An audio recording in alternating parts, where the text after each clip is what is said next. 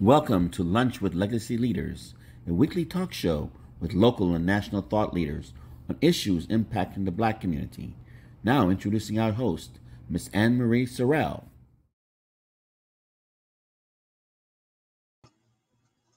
Good afternoon and welcome to Lunch with Legacy Leaders. I'm your host, Ann Marie Sorrell, President and CEO of the Mosaic Group. Thank you so much for taking time out of your afternoon to join us today. I'd like to bring on our special guest, Mr. Jaffus Hardrick, and I'll give a proper introduction once he joins us.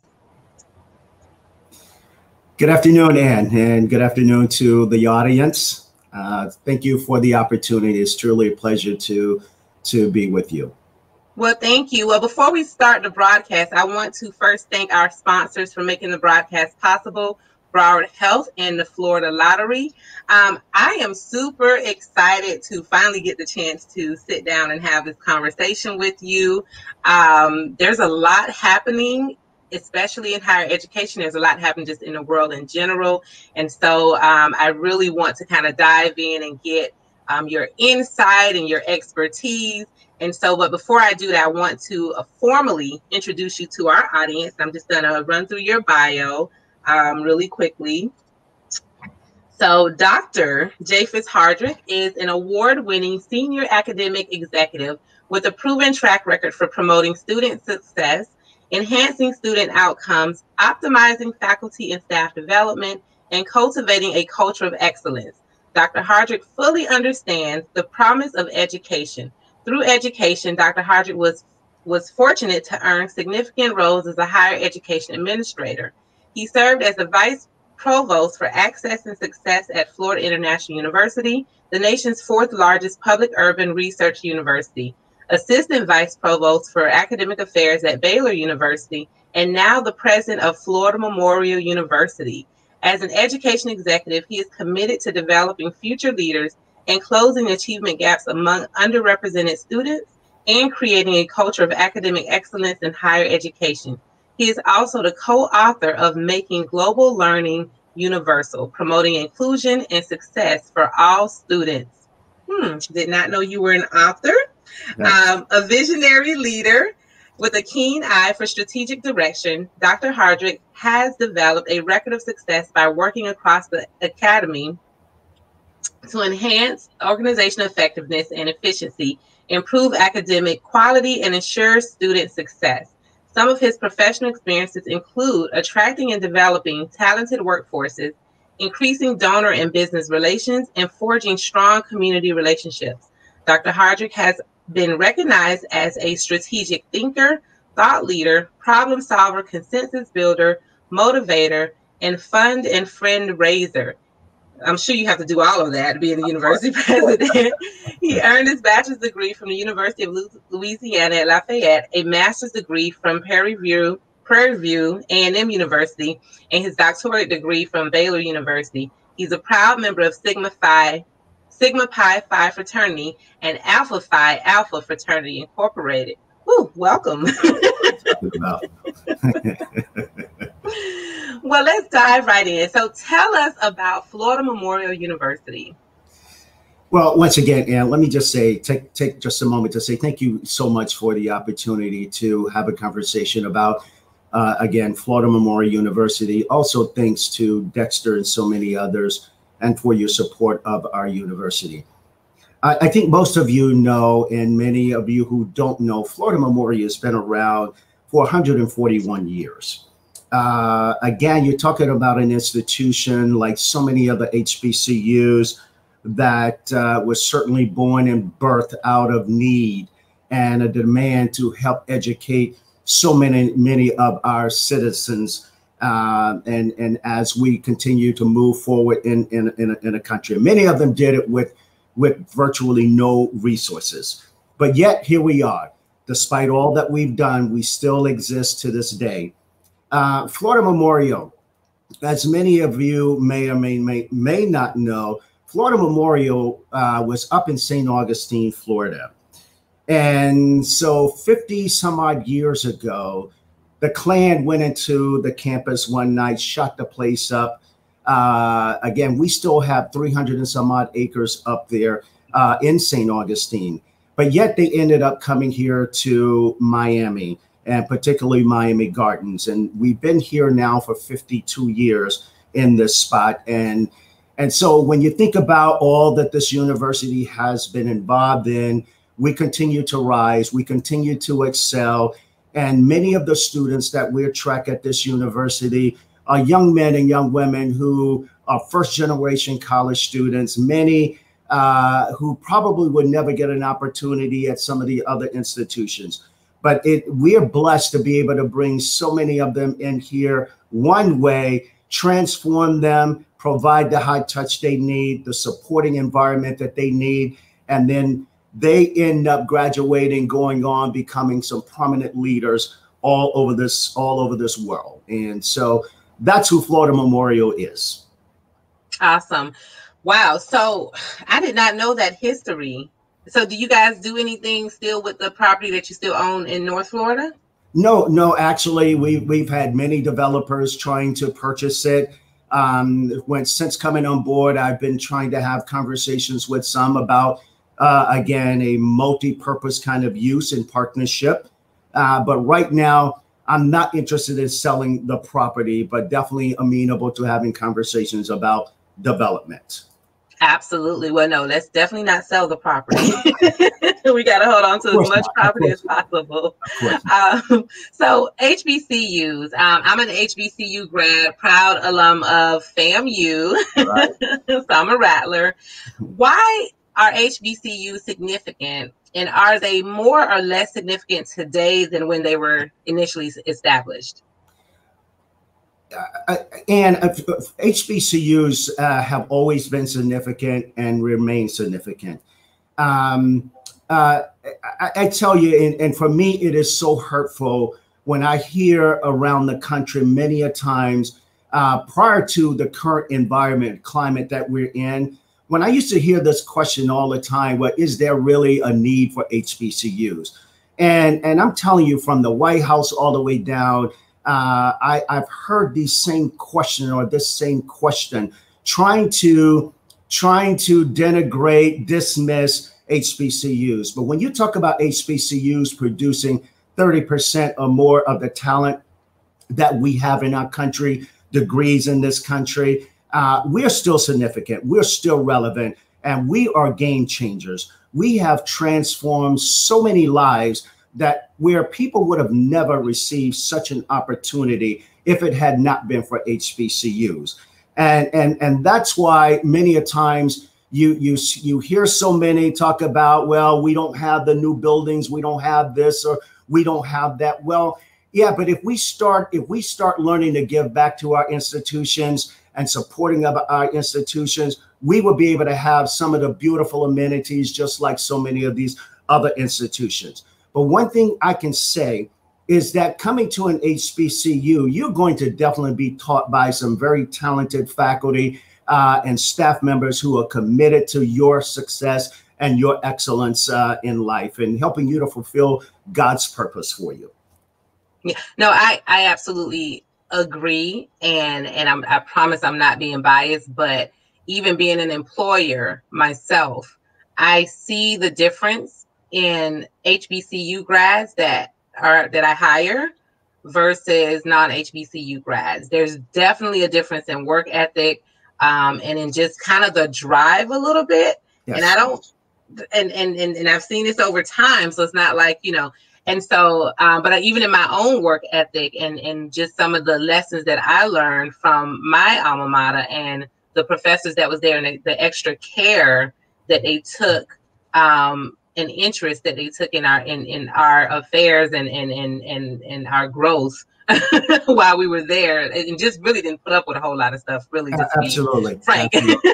and, and, and i've gotten i've i've had the, the the the blessing the opportunity of going to um, again some institutions um, uh, again across the spectrum uh, hbcu non-hbcus and i can tell you this um, the greatest experience for me is literally was when I was doing my master's uh, at Prairie View. I mean, the faculty were very hard, but you know what? They did it in love, and they were only trying to bring out the best in you. Yeah. Some of those other institutions I mean, the faculty were difficult, but they were just being difficult for the sake of being difficult. You, you, you follow me? And yeah. they could care less if you got it or you did it. Um, it was no skin off their back, uh, if you will, for the lack of a better term. Um, it, you were just another number. But in HBCUs, you're you're you're a VIP. You're a very important person, and that's the way we try to always treat every student, uh, even those who come in with these crazy entitlement mentalities.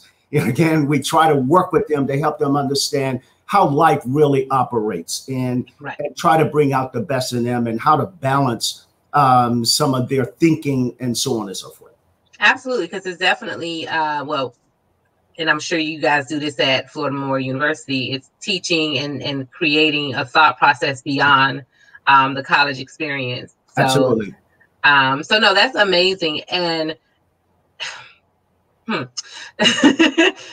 so for those who are listening, because we do have people in our audience um, from all different races that tune in and may not understand what HBCU is. I just want to clarify: historically black college and university yes. is what we're referring to when we say HBCU. So I realized we didn't, you know, kind of clarify that when we started this discussion. Um, how has the pandemic impacted higher learning in general, and then specifically, how has it impacted Florida Memorial University? Yeah. Well, I, I think uh, it, it's very obvious that uh, we we're dealing with a pandemic that has impacted our world, uh, and certainly our our country. Um, we didn't have to be here, but this is where we are. Okay, and we're we're having to manage it. But it has literally destroyed a lot of lives um, in so many different ways, many small businesses. Uh, it, it has really caused us to rethink uh, higher education uh, and caused us to transition, if you will, to pivot from, uh, again, the traditional way of teaching and educating. Um, one of the things for Florida Memorial, even at the height of the pandemic, we were still here we were still providing services to students. And I mean, we literally had to pivot from our normal way of, of delivering instructions to an online uh, platform. We did all of that in three days. There were other institutions who literally took four or five weeks just to make that transition. And, and I have to say that even at the height of the pandemic, and um, and even to to this day, we have been a very blessed campus. Our students were responsible uh, and accountable, adhering to all of the medical guidelines to help ensure the safety of our campus and of our faculty and of our staff. So our faculty did a wonderful job. So so it is now we are back open for the fall. We're providing face-to-face as well as online courses for many of our students. And and and yes, we we we uh, see some of the students, their families, their their inabilities to cover uh, again for tuition. We see the struggle, and this university is doing everything possible with what few pennies we have to try to uh, ensure the continuity of uh, of our students' education. Uh, all of that is so important to us. Absolutely, man. This is definitely an adjustment. How have the students been adjusting to um, in person, I'm, I'm sure having to wear a mask and kind of spaced out, and how they've been adjusting to that. Well, it's it's different. It's different, uh, uh, and and I can I can honestly say that our students have been extremely responsible uh, in that regard. Um, I mean, you see them out on campus, um, and and research has shown that most of our students prefer face to face learning uh, and and not only our students, but many even across the country, they prefer it uh, as opposed to online. Some struggle, and that's why we we created the hybrid model, just like most of the other universities across the country, to be able for those who need face to face to be able to give them that kind of instruction. So um, it, it's it's it's it's different. Let me just put it that way. But we're everybody's adjusting, uh, if you will, to this temporary uh, normal.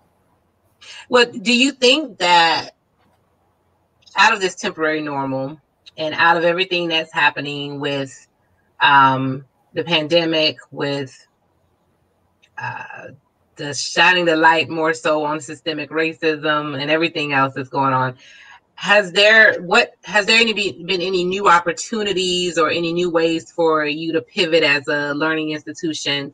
Um, has any opportunities come from all of this? Well, in, every in every crisis, there are opportunities to uh, either improve yourself or stay stagnant. And and and I'm one of those type of leaders, and I truly believe that if an organization is not is not uh, constantly innovating, uh, it's dying or it's stagnant. Mm-hmm. And and higher education is, I think, for many years has been one of those type of uh, uh institutions, right, where right. we can we can become very stagnant. And uh, in this day and time, we have to be able to move at the pace of business and change. And that's what we're trying to do here. I can say that at Florida Memorial University, we have definitely taken advantage of some of those opportunities because I remember walking into the doors uh, two years ago talking about moving from moving to an online space and offering degrees online and and and the resistance that I met was just unparalleled. But here we are, here we are two years later, and we're doing what we said we could never do. So what it told me, or it it it, it basically pointed out to me, it was that we couldn't do it. You just didn't want to do it. You didn't want to change, and that means that people get comfortable with change. And, and again, if you're not innovating and you're not changing, you're stagnant and you're eventually dying as an organization. And when I say dying, I'm not talking about literally. Um, I'm speaking figuratively, but you're not being as productive as you can be, and you're not uh, optimizing your abilities as much as you you you can.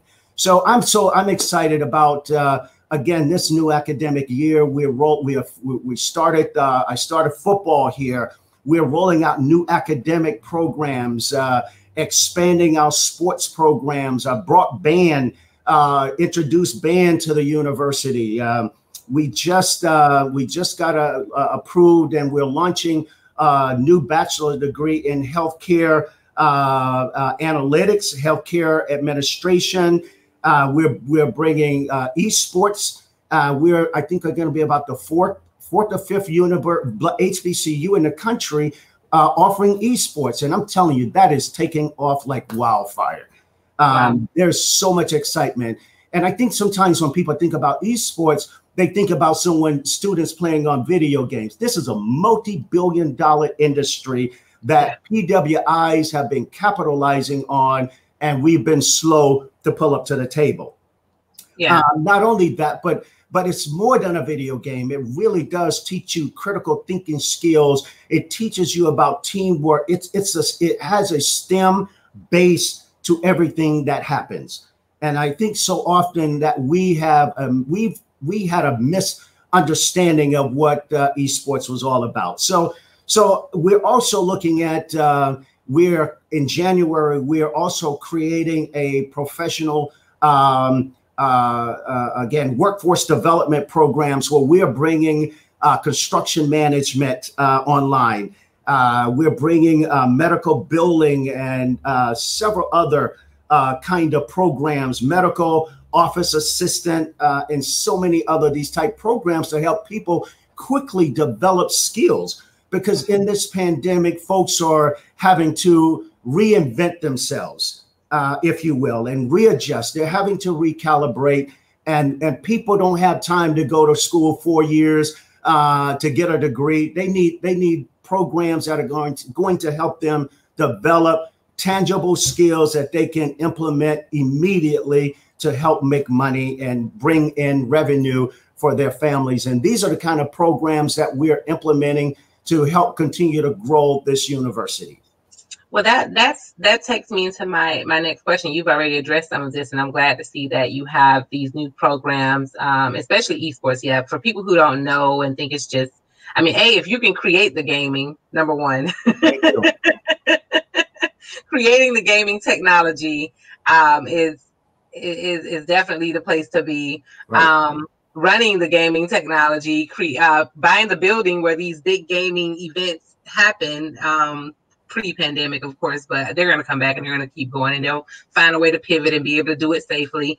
Um, so that's that takes me into you know the next question, which was looking at the ever changing landscape of technology, both internally for your operations, but then through curriculum. So, you know, artificial intelligence, um, blockchain technology, um, safety in, in, in data analytics and, and privacy issues when it comes to information technology.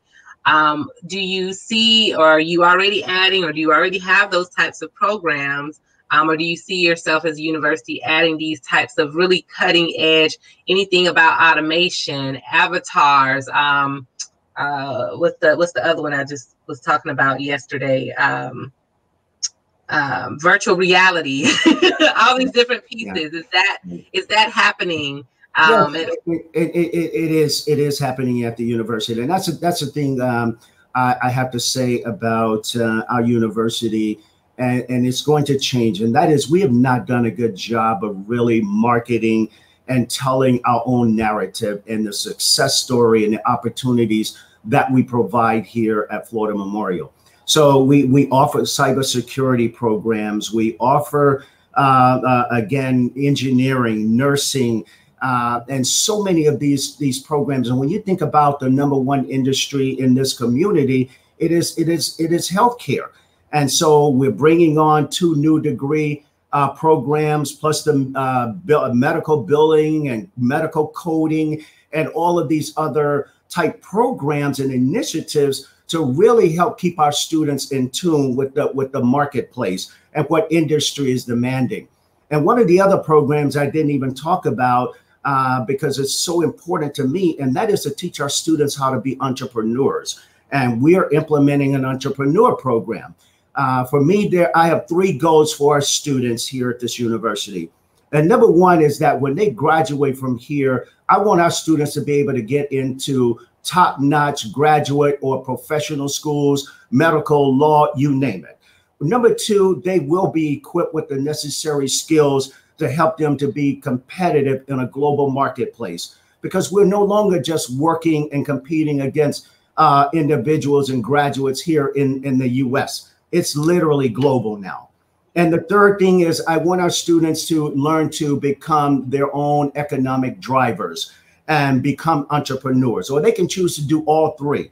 But this is what I want them to do. So we're literally, companies are pulling up to the table. We have a new dean of our business school, um, Dr. Preston Jones, who is coming in and he's bringing uh, these type of initiatives that uh, I know will be game changers and and creating, teaching students how to literally take your ideas and bring them into reality. We have companies that are saying, well, we want to work with you and help back and so financially support some of these ideas and teach you how to do it. Uh, because that's what we need to do. Always not thinking about working for someone else, but being being create your own companies and and and and and and, and put yourself in a position where you can hire other people and that way you have a legacy, uh, financial legacy that you can pass on for years. And those are things that have happened to HBCUs, and some of the reasons why we don't see the kind of giving from our alums because many of them don't have that level of resources, those, those level of resources to be able to give back, back like some of the other uh, institutions. And so I want to be able to teach our students how you can be all of those things and be successful in life because I truly believe God wants us to maximize and optimize our lives, not only for us, but for others uh, to come and for many, many years. Absolutely. No, I love that. And um, I'd love to be a, a guest lecturer for your uh, entrepreneurial program. Oh, we would love to have you. Absolutely. Count me in. So, um, for your, is there a difference between, from a pricing standpoint for students, um, who want to go back to school or who um, you know may want to do online. So is there going to be is there a pricing difference? And maybe just in universities across the board i'm not sure. Is there a pricing difference in online versus in person or does it still remain the same? No the tuition remains the same uh, because the technology is very expensive very okay. costly to maintain. And uh, so so when you start trying to break it out into and segment it uh, and, and, and compartmentalize it, it becomes very difficult at that point. And so when you think about Florida Memorial, I know we're a private university, and people think, "Oh my God, you're so expensive." It's twenty. It costs twenty four thousand uh, dollars a year to be able to come here. You can stay on campus, not on campus, uh, you name it. But we, despite the fact that we are private, we are the we are the the the, the cheapest among private schools, uh, even in our community. So so I know sometimes we struggle with that part but mm-hmm. Florida Memorial, you're definitely going to get more than than than your your money's worth when you come to this institution.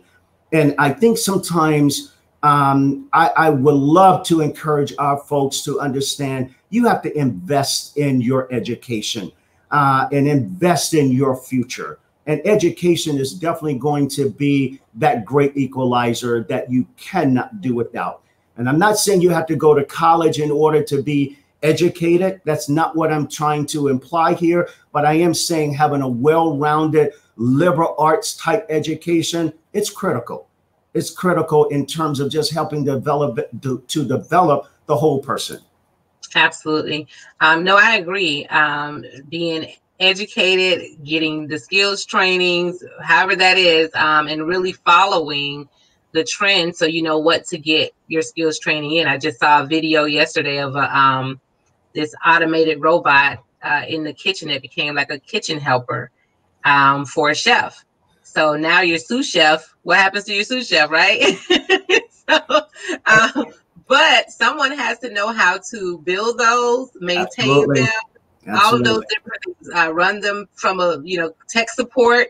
You know, so they're different. You know, we we have to definitely be aware of what's happening, what's cutting edge, what technology is happening, and how to get retrained in those skills. And that brings me to my next question for you: um, is how how is um, how's Florida Memorial University responding to the growing and changing workforce needs in South Florida? And that's that's part of what I, I, I mentioned earlier in terms of some of the new programs that we're that we're rolling out is really to align us with uh, with the, the changing needs in, in, in our community.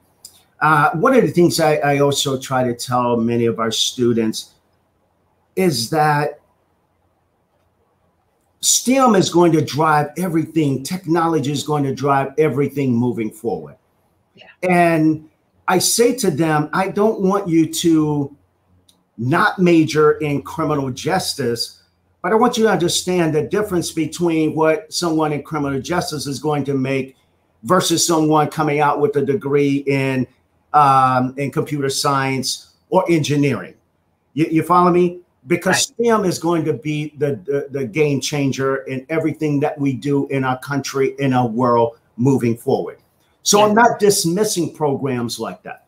What we're trying to do is that we're trying to now stack those programs where, for an example, if you want to major in criminal justice, for an example, we're encouraging you to also get a minor in cybersecurity. Right. Uh, or you, you follow it, or in forensic forensic science, so that you you have something now that is going to really make you marketable, right? If you will. And Absolutely. that's why we push, we push finance, we push accounting.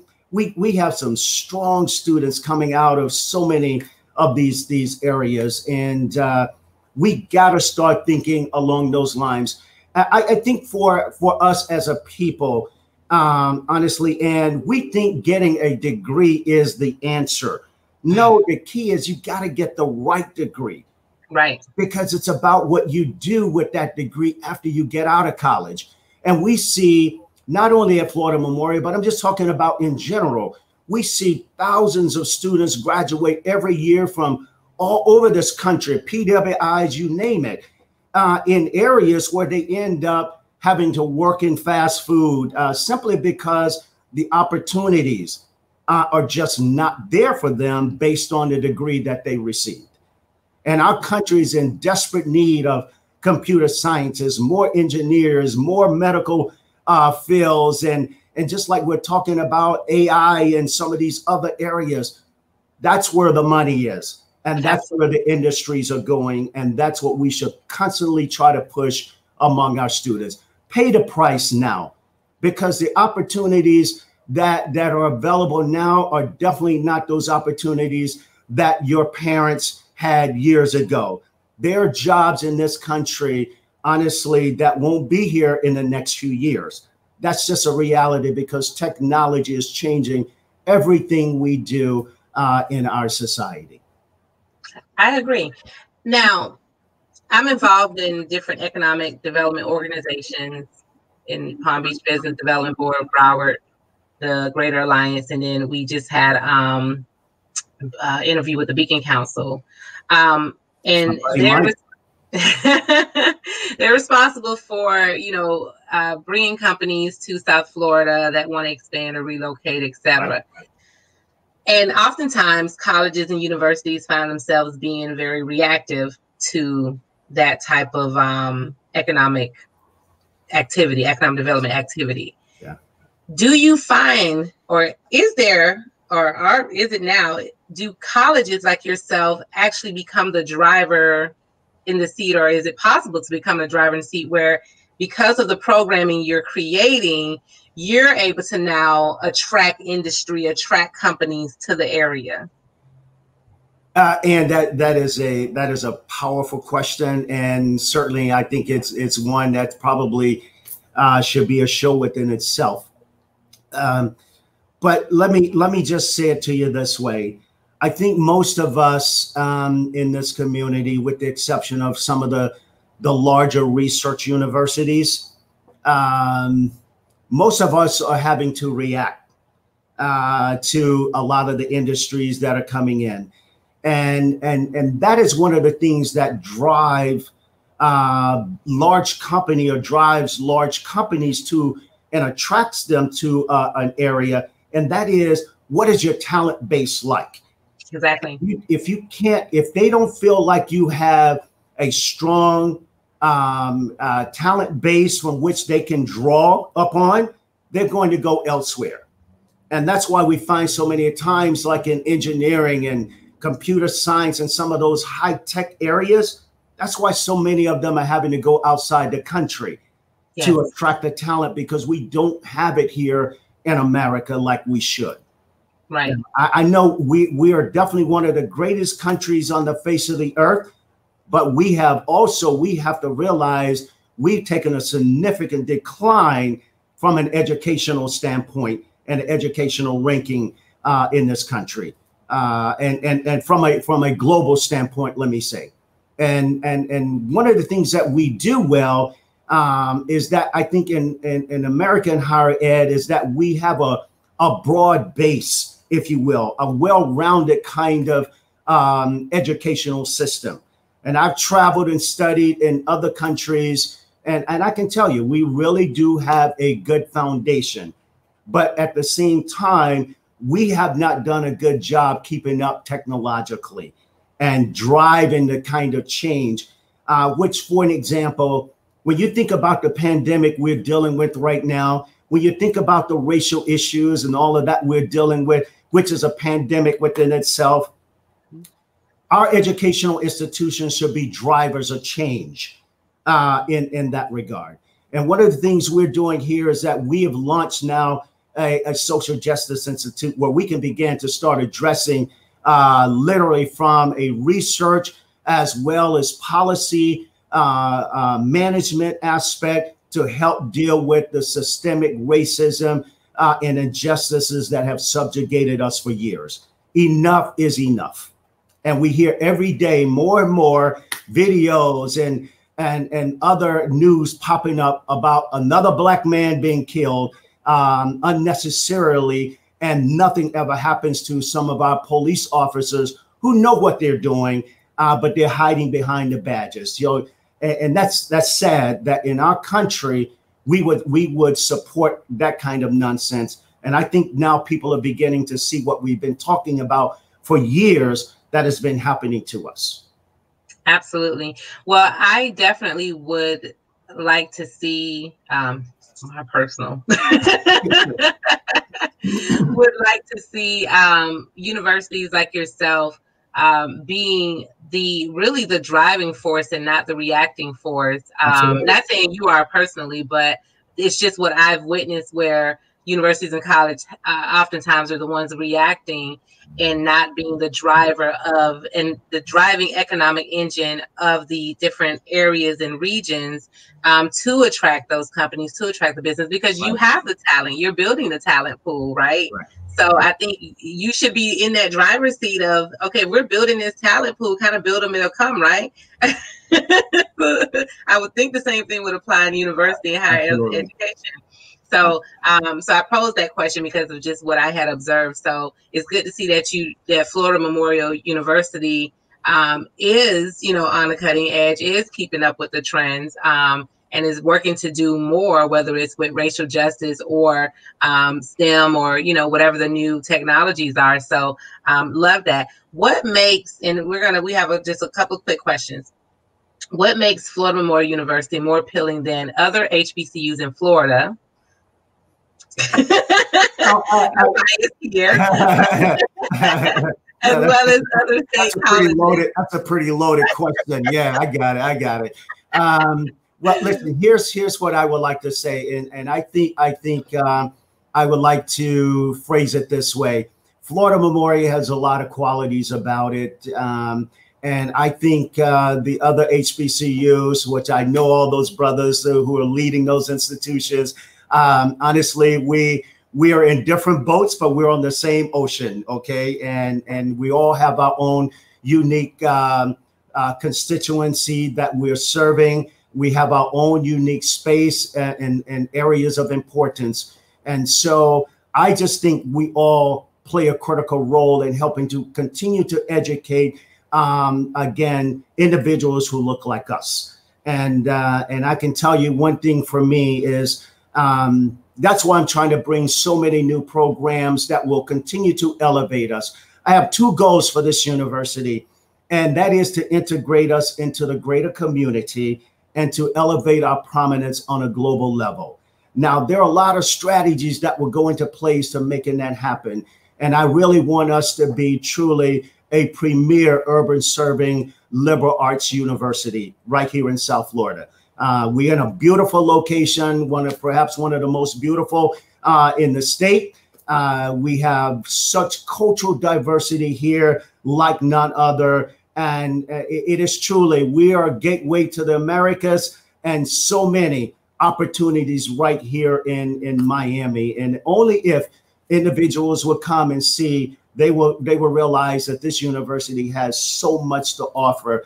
And I'm looking forward to again, elevating this university and growing our enrollment, having conversations about new dorms, new facilities, and so many other things here. Companies pulling up to the table now wanting to support the university. And I'm so appreciative because it's going to take all of us uh, working together. I work with uh, St. Thomas, with um, uh, Barry University, FIU, UM, and Miami Dade, Broward. I work with all of these institutions because it's about collaboration.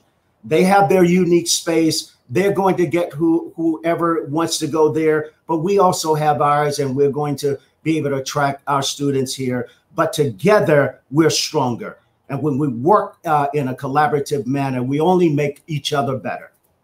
And and I love that you said that because my my last main point before your closing thoughts for parents, and I've heard this and I know you've heard this, for parents and students who believe it is better for them to attend a majority white college and not a historically black college or university.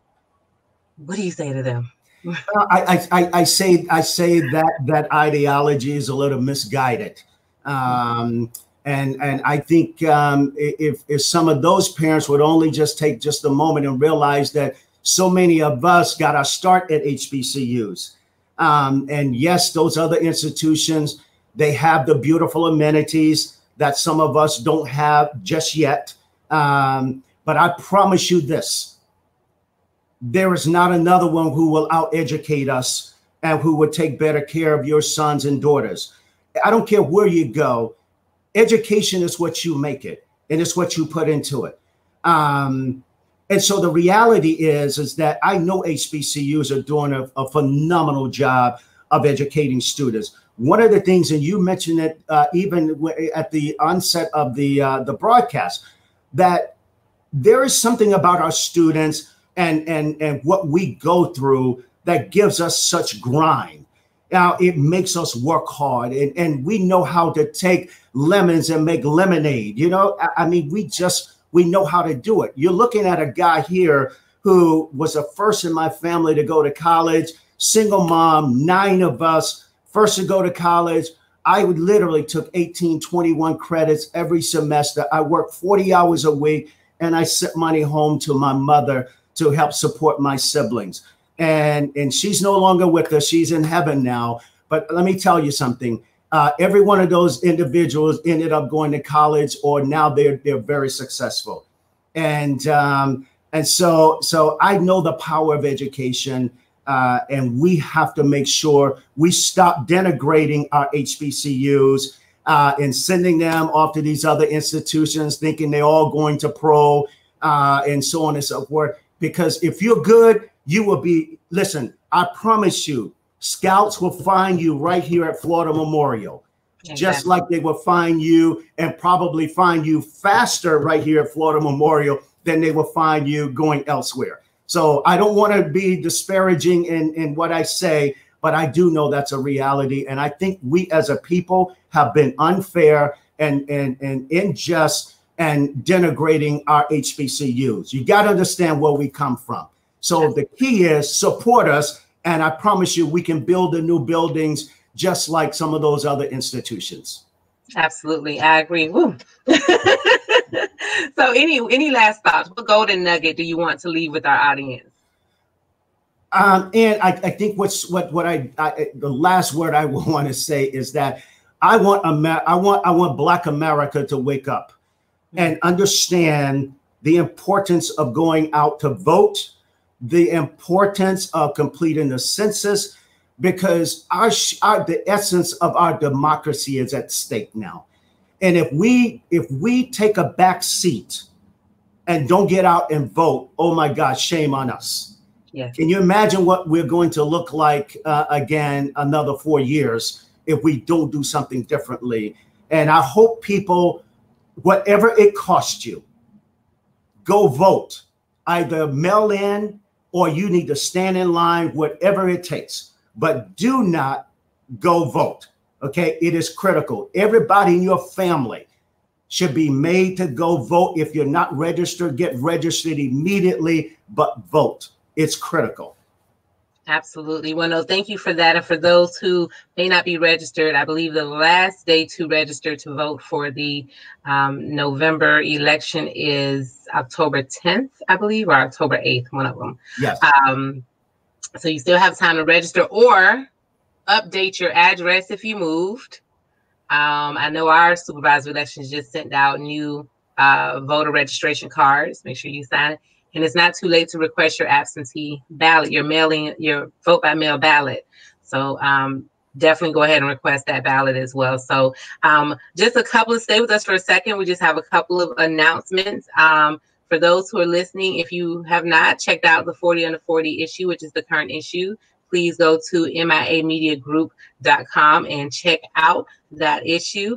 Um, we are excited to honor uh, not just 40 people because it's two issues it's the miami legacy miami and legacy south florida so we have 80 honorees um, that you can go and check out and recognize them so definitely make sure you do that and we also have um and just forgive me one second i have to make a, um let me look up who our guest is next week. I apologize to my listeners.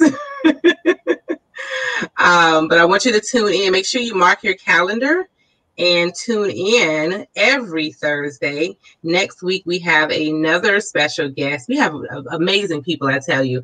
Um, Michael John, MJ Green, uh, who's the Vice President and Fund Director of Commercial Lending for Dade County Federal Credit Union. So we'll be talking about some money next week.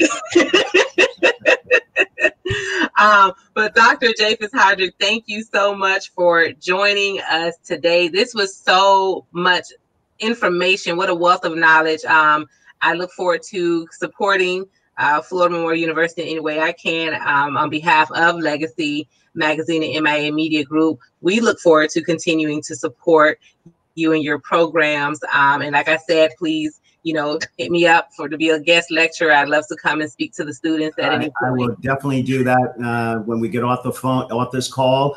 I will send an email to uh, Dean Jones and make the connection. Absolutely. Well, thank you everyone for tuning in to another episode of Lunch with Legacy Leaders. Please remember to mark your calendars. Please share this video. Lots of great information in here um, for potential students out in the community, as well as businesses who want to get involved um, with universities, businesses that are looking for talent. Um, make sure you connect with Dr. Jaffus Hardrick with Florida Memorial University and join us again next week at noon.